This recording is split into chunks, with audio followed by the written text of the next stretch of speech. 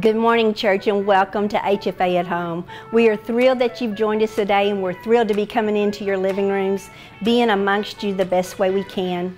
I so miss getting to hug you. That's the thing I love the most. So why don't you get up and give those people that you are with a hug today and tell them it's from me. I would love to be able to give you one today. We are continuing on with our series, Pastor Series on the church. And we're looking even deeper into the early church and how they conducted themselves and how they grew and what they did and the practices they had. We've talked about it last week. We're going to talk about some more. We're going to look at, you know, the church body and, and what it's really meant to be and what we're really here for and how we're supposed to be uh, grow in the kingdom of God. Um, the church as we've known it all of our life, we are doing different right now. We hope it won't be for much longer. But it has certainly uh, served a purpose of just stripping all those things away that all those traditions we have and, and, and letting us see and feel and know and realize what the church is really about and what we really should be doing. And one of those things is taking care of each other. So we're going to look at that today because, you know, it's just so important. Even during this time with the people around us and what's going on, there are people that need us. They have needs and some of it is just an emotional need, but they have needs. And it's so important for us as the body of Christ to realize that and to be aware. You know, Galatians 6 tells us to carry each other's burdens. And then in Hebrews 13, we even see that it says, do not forget to do good and to share with others. And in Philippians, we read, let each of you look not only to his own interests, but also to the interests of others. And then we hear Jesus as he brings it all together in Matthew 25 and tells us, whatever you do, to those in need. Do or not do, that is what you're doing to me. And we certainly want to make sure that we are representing Christ in the best way we can. So right now, we are going to just get ready to worship. I just pray as, as we go there that our hearts would be softened and open and we would just set back and, and take in what the Holy Spirit has for us today and realize what we are really supposed to be all about. So y'all stand where you are in your living room and let's just worship.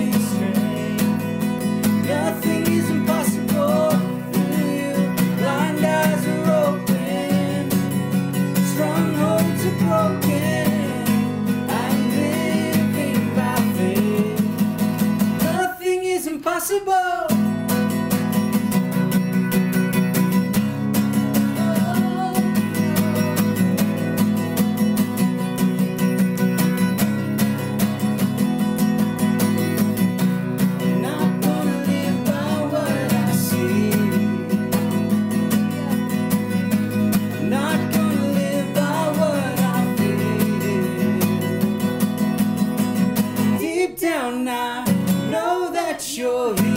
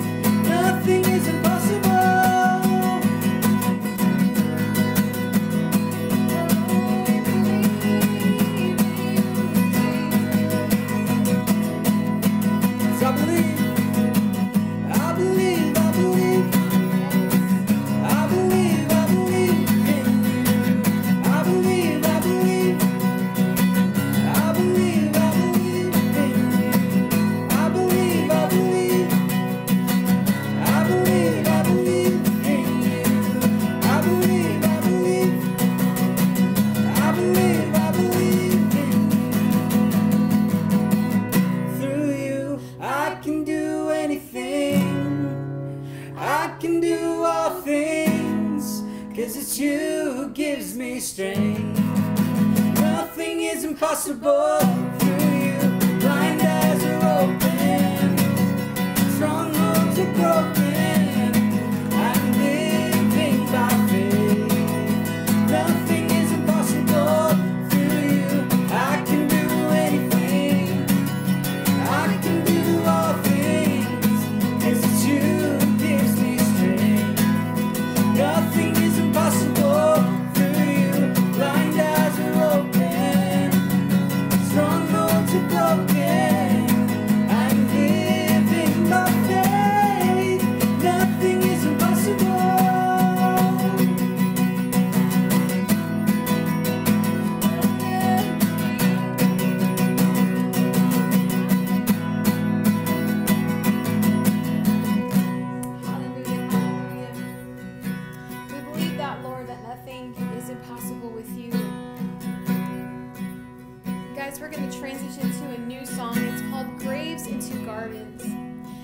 Last week we did Coming Back to the Heart of Worship.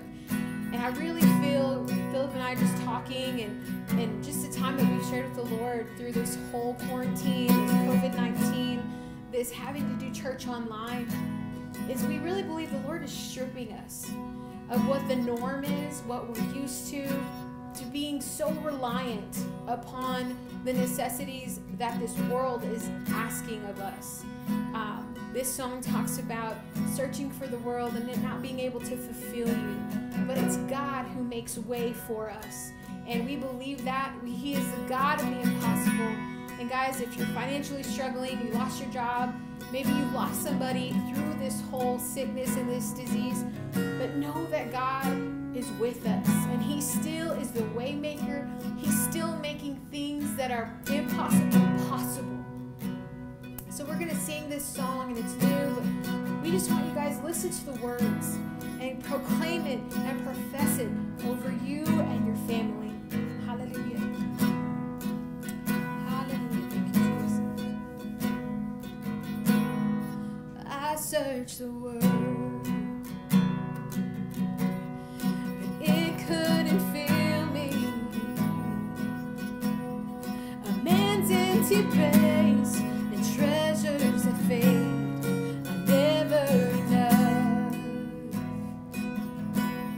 Then you came along.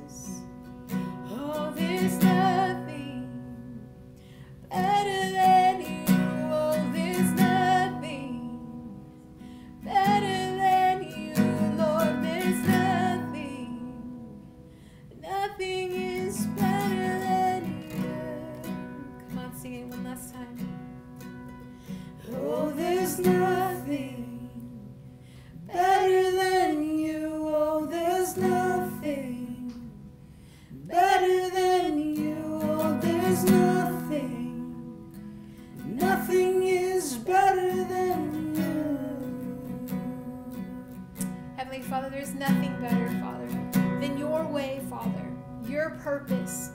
Father, your divine plan, there's nothing better that we can trust in, that we can rely in, than in your way, Father, in your love, in your time, in your season, God. Strengthen all of us, Father. Unite us together, Father, that we would lean upon each other in this time and remind each other of the power that is in the name of Jesus, the name that is above all names.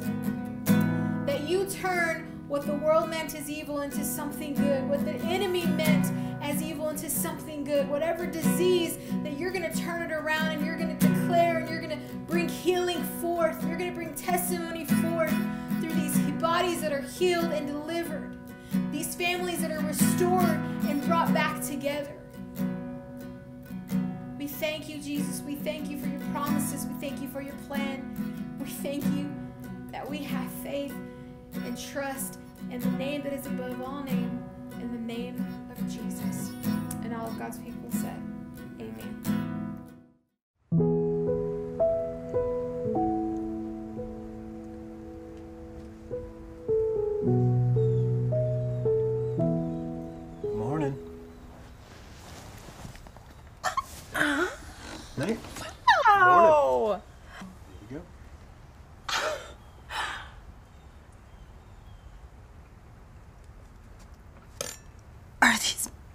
Poached eggs? Mm-hmm.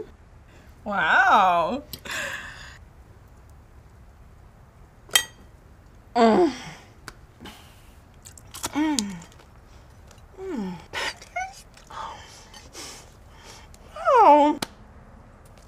Mm. Mm. Mm. Oh, this is so good. I can't wait to see what you guys do next week. For Mother's Day?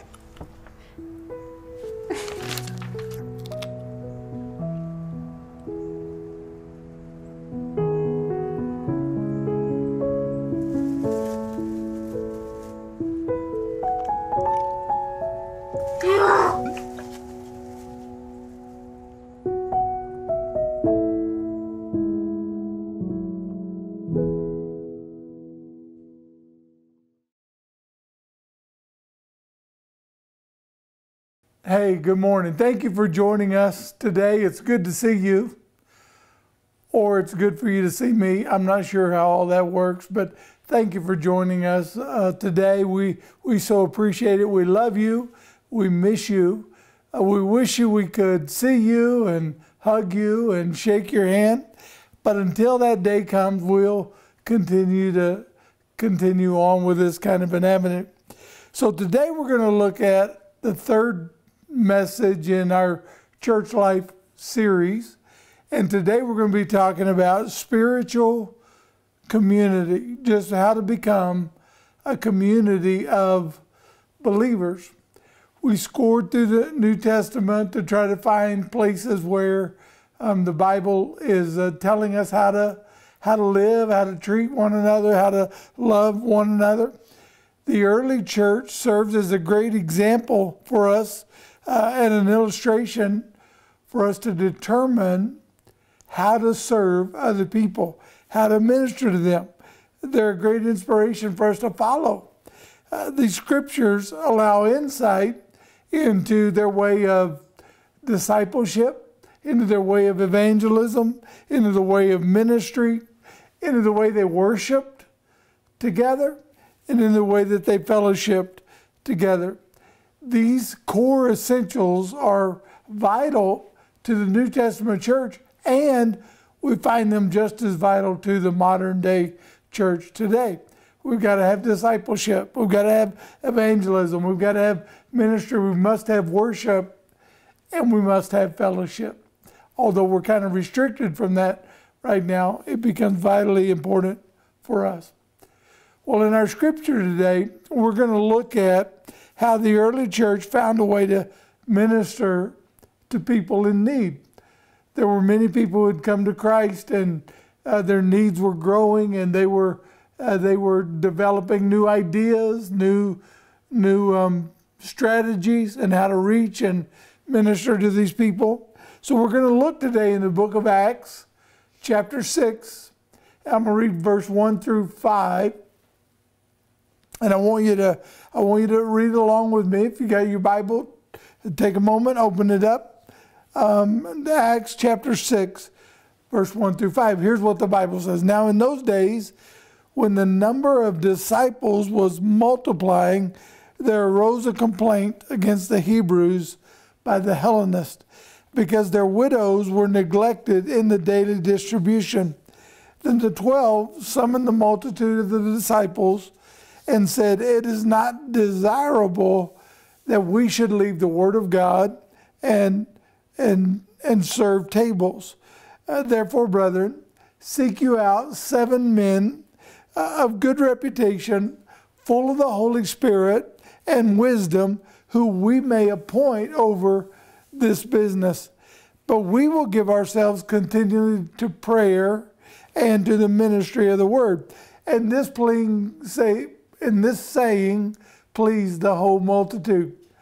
I don't know how you can get those kind of results today about pleasing a multitude, but but it worked here. They they were pleased, and they and they chose seven men full of the Holy Spirit uh, that had wisdom and had a heart to serve others.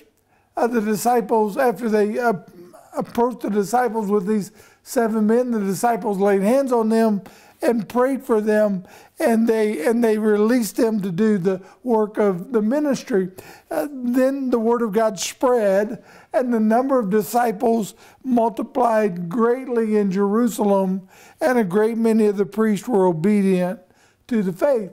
So what we learn in this passage of scripture is how they how they sought the help of others to literally care for one another you and I must be willing and able to care for one another. We've got to take care of one another, particularly in days like today, particularly with, with needs that are going on today. We hear reports of suicide and, and stress being built in the home and those kind of things, and somebody's got to come be a peacekeeper.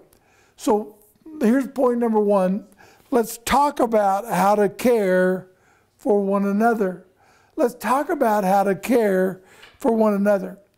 If we're honest with each other, every one of us needs acceptance.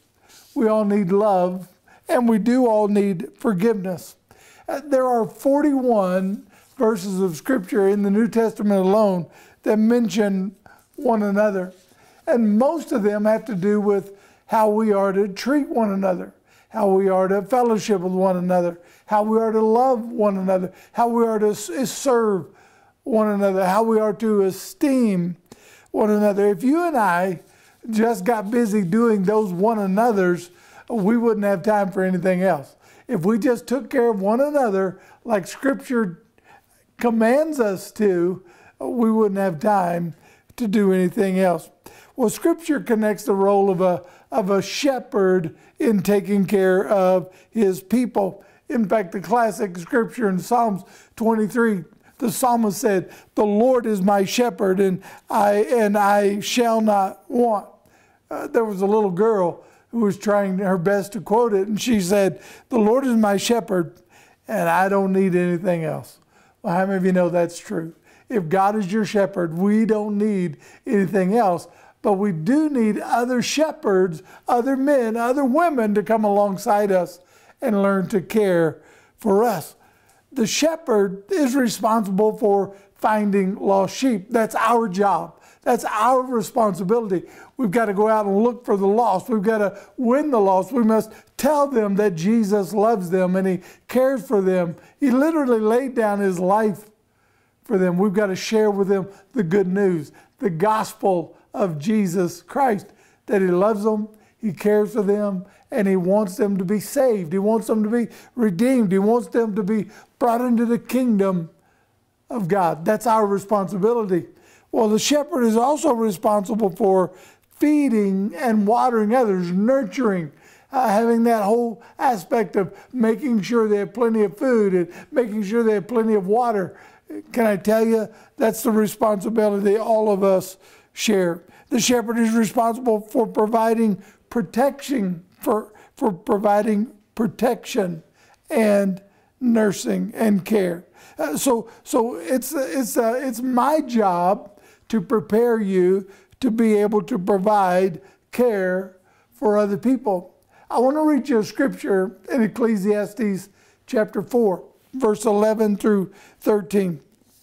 Here's what the scripture says And he himself gave some to be apostles, some prophets, some evangelists, and some pastors and teachers for the equipping of the saints for the work of the ministry, for the edifying of the body of Christ, till we all come to the unity of the faith, till we all grow to this knowledge of the Son of God, to a perfect man, to the measure of the stature of the fullness of Christ. We have, we have this responsibility.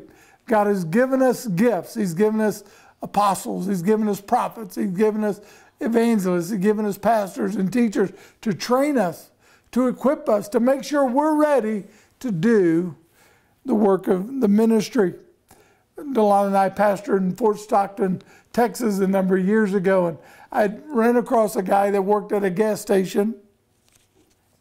He attended another church in town, and one day he and I were talking about um, scripture and the Bible and church and all of those kind of things. And and he looked at me with an incredulous look and he said, You know, I don't get it why one guy can stand at the head of the group and yell at everybody else and tell them how they're supposed to live and what they're supposed to do. And he said, Do you do that? I said, Well, kind of, but not, not that dramatic, not the way you um, described it. But yes, I, I'm the lead pastor and, and it's my responsibility to teach and to preach the Word of God. And he just he just kind of began to mock me a little bit and make fun of me a little bit. I said, "Listen, I am a gift to the church." He looked at me like some of you are looking at me right now. He looked at me with this look of like disbelief. So I got his Bible from his shelf and I read him this passage of scripture in Ephesians chapter 4 where it talks about we're gifts. We are gifts to the body of Christ for the purpose of equipping you, of training you, of making sure you're able to do all of these kind of things to care for one another. One mistake we make is we hire is we we think we've hired professionals to do the care. Can I tell you that's the farthest thing from the truth? It's your responsibility. And it's my responsibility because I'm a Christian to care for other people. It's our responsibility to make sure that others' needs are met. And listen to me everyone in the body of Christ is given a gift. All of us are given gifts by the Spirit for ministry, and these are for the profit of everyone else. Your gift is for the profit of everyone else, both inside the church and outside the church. My gifts are for the profit of other people. It's for their benefit, it's for their good, it's for their care, and it's for their love. And it's important that these gifts have room to operate. There's a number of gifts listed in Scripture, and I'm not going to uh, talk about every one of them, but, but one of them is generosity. God has given you a spirit of generosity to be able to come alongside someone, slide them some money, or however you're going to do it, but you have the ability, God's given you the ability to make money. You've been faithful, you've got a great job, and He's enabled you, He's gifted you to be generous to other people, to be generous to the church, to be generous to, to other men and women who are in who are in need. I remember once when we were in Fort Stockton, uh, it was a small church.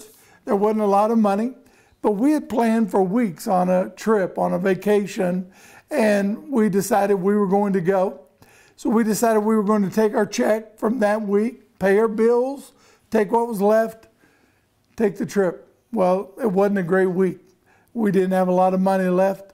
Uh, in fact, we didn't get much of a paycheck that week at all. We had $60 to our name.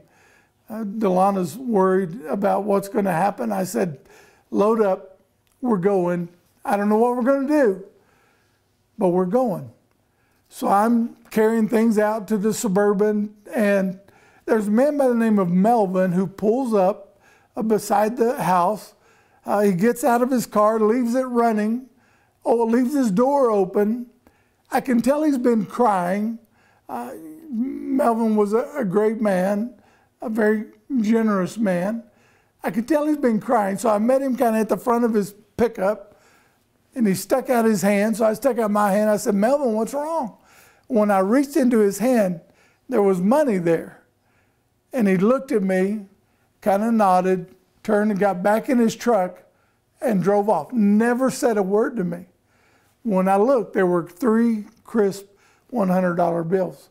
I mean, you know, we had a great time that week. We had an enjoyable time because of his generosity. Can I tell you, your generosity needs to be exercised. It needs to have room to operate. Uh, there's a gift of hospitality. Um, you can open your home, make people feel welcome. There's a gift of prayer. We need intercessors today. We need those men and women of God who know how to touch heaven for us, and they will agree with you in prayer until an answer is given. It's not just a, oh, I'll pray with you or I have prayed for you, but they commit to praying with you and for you and until there comes an answer. There's a gift of teaching, just to name a few. So we've talked about how to care for one another. The second thing I want to talk about today is life groups. Let's talk about life groups. From Acts chapter 1 to Acts chapter 20, it's estimated that approximately 100,000 believers came to know Jesus, came to follow, came to be disciples, and were assimilated into the New Testament church through small groups, through individual small groups. Can you imagine the difficulty in the New Testament church in connecting everyone together? They saw too many people saved to all meet at one time in, in the synagogue. So they involved their they solved their dilemma by instituting life groups. I don't know if that's what they called it. I don't care what you call yours. You could call it Sunday school class, you could call it life groups, you could call it connection groups, you could call it care groups, you could call it whatever you wanted to call it. But they are a vital, essential part of building the church. In fact, in Acts chapter 20, verse 20, let's read what Paul said. He said, I kept back nothing that was helpful, but proclaimed it to you and taught you publicly and from house to house. Clearly laid out there. They had, they had small groups, they had life groups, they had connection groups. So there's a church in, in uh, Seoul, South Korea. It's the largest church in the world. It's Yoido Full Gospel Church, and they boast of over 1 million members. Now you can imagine there's no place on earth for 1 million people to gather at one time. In fact, a few years ago, they had a sanctuary that sat 15,000 people. They would run one group in and one group, the next group right after them all day long. But even at that rate, there's no way they could minister to 1 million believers. So Dr. Cho uh, devised a plan. He, he instituted deacons and deaconesses and he gave them charge of life groups or small groups. He gave them the responsibility of caring for all of those people. Listen to me. Life groups are a building block to the overall health of the congregation. In a life group, you can find prayer.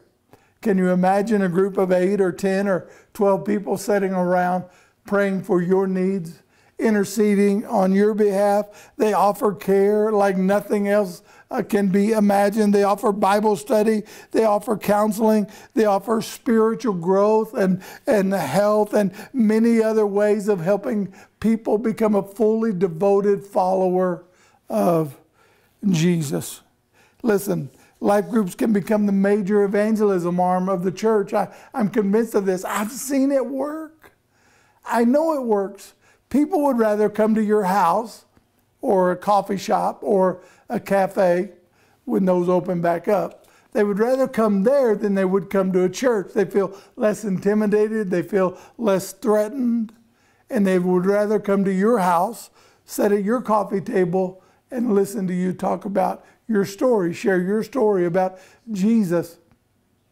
One, one time, Delana and I were leading a life group, and there was a couple um, that, that um, before they would come into the life group, they would sit out in their car and get stoned. That's right, they'd smoke marijuana, get high, and they'd come in. They told us that was the only way they could handle us. It was the only way they could put up with us. They had to calm themselves out in their car, and then they'd come in. Now, the good news is they eventually got saved. They're still in the church today. They got baptized, baptized in the Holy Spirit. We're grateful for all of those things. But listen to me life group can be a major evangelism arm of the church.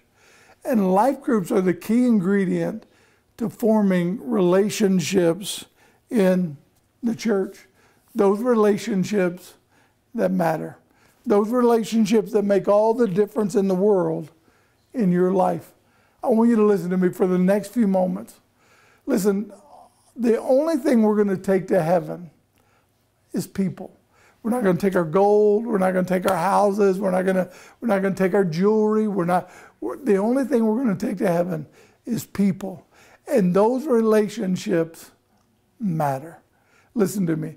You need people who can speak into your life, and you need to be able to speak into the lives of others. That's the way God designed us.